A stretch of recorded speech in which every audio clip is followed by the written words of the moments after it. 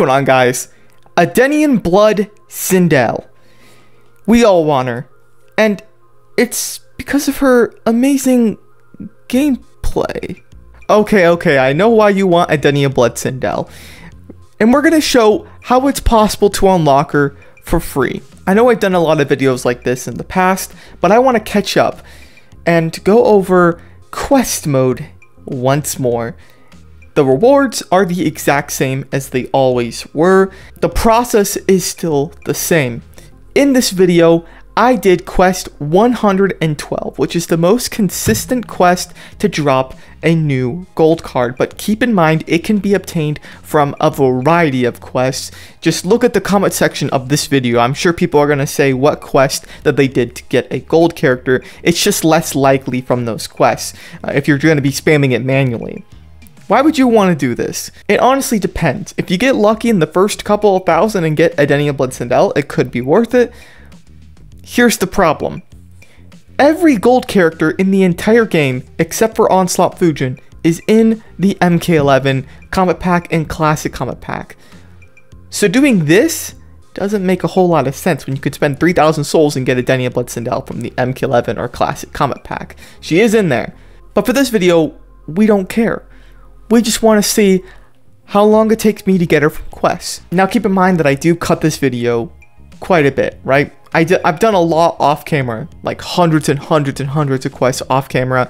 So what you're only going to see is like maybe 50 or 60 attempts. So now, it is about time to obtain Edenian Blood Sindel for free from the quest mode 112 The Depths. Let's get started. I'm not going to leave you guys just yet.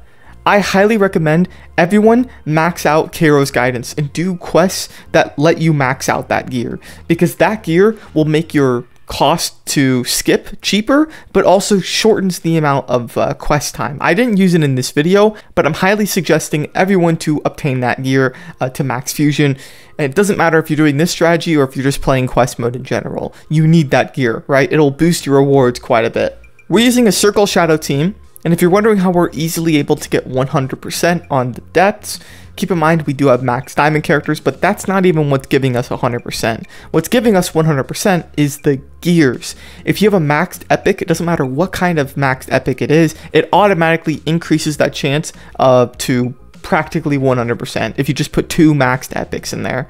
So it could be Faction Wars, it could just be um, 80 Tower Piece. Rares will work as well, but it won't boost as much as an epic. So definitely put as many gears on as you can to get that. we are not using potions because potions are useless and don't increase the chance that you're going to get a gold character. They don't. This, this is just a little fair fair warning, fair warning that it doesn't do anything. Alrighty guys, I'll see you back when we get Edenian Blood Sindel.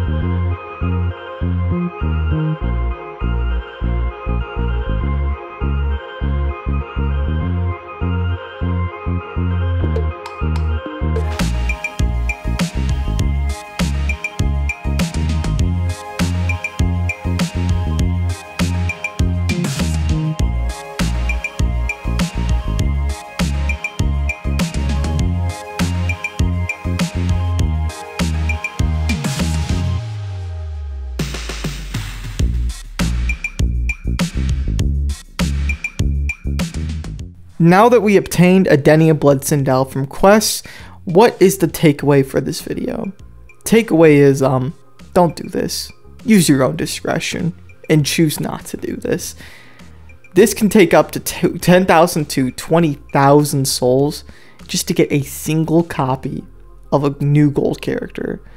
You're much better off just opening up MK11 combat packs or classic combat packs because at least you're getting diamonds on the side. And also, newer packs like Killer Joke, they also have random gold chances in them. So you should probably just try to get lucky with those just stay away from this strategy. It's not even a strategy if that's what you try to call it.